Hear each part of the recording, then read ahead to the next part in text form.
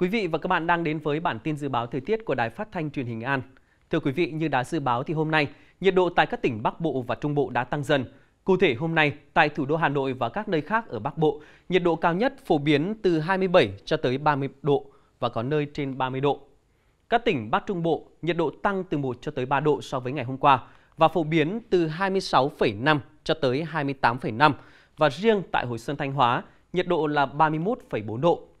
Nhiệt độ sẽ tăng dần vào hai ngày nghỉ cuối tuần và từ ngày mai 23 tháng 4 ở khu vực Tây Bắc Bắc Bộ và vùng núi phía Tây khu vực Bắc.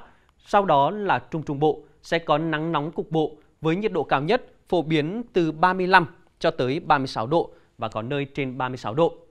Cao điểm của đợt nắng nóng sẽ bắt đầu từ ngày 24 cho tới ngày 27 tháng 4.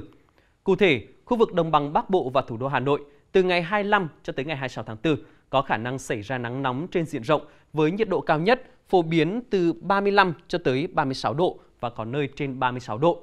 Độ ẩm trung bình ngày thấp nhất từ 50 cho tới 60%.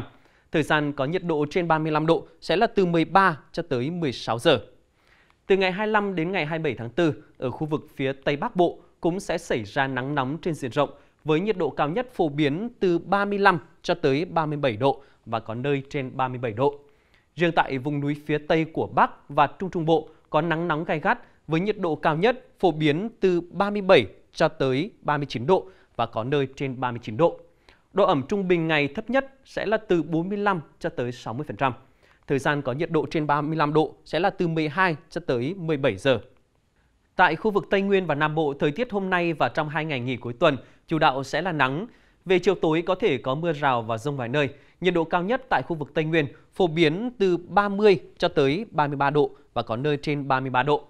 Và tại các tỉnh Nam Bộ, nhiệt độ cao nhất phổ biến từ 32 cho tới 35 độ và một số nơi cục bộ nắng nóng trên 36 độ.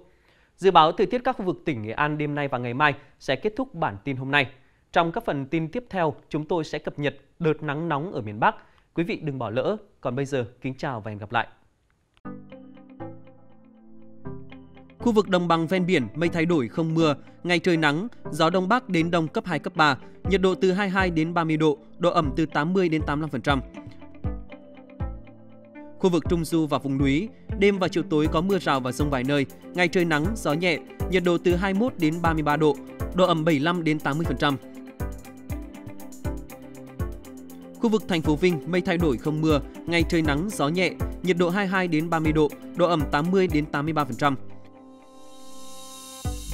Khu vực Cửa Lò và đảo Ngư, mây thay đổi không mưa, ngày trời nắng, gió đông bắc đến đông cấp 3, nhiệt độ 22 đến 30 độ, độ ẩm 83 đến 85%.